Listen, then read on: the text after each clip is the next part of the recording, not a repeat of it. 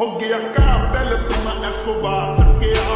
ਦੱਸੋ ਕਿਨੇ ਪਿੰਜਰੇ 'ਚ ਸ਼ੇਰ ਟੱਕਿਆ ਪਿੱਛ ਸਟੈਪ ਰਾਣੇ ਚੱਕਣੇ ਸਟੈਪ ਨਹੀਂ ਤੇਰੇ ਸ਼ਹਿਰ ਵਿੱਚ ਖਾਲੀ ਕਰਨੀ ਗਲਬ ਨਹੀਂ ਇੱਕ ਜੀਪ ਖੜੀ ਮੇਰੀ ਥਾਣੇ ਦੇ ਵਿੱਚ ਬਦਲੇ ਤੇ ਮੈਂ ਦੋ ਲੈਣਾ ਨਹੀਂ ਮੈਂ ਡਾਕੂ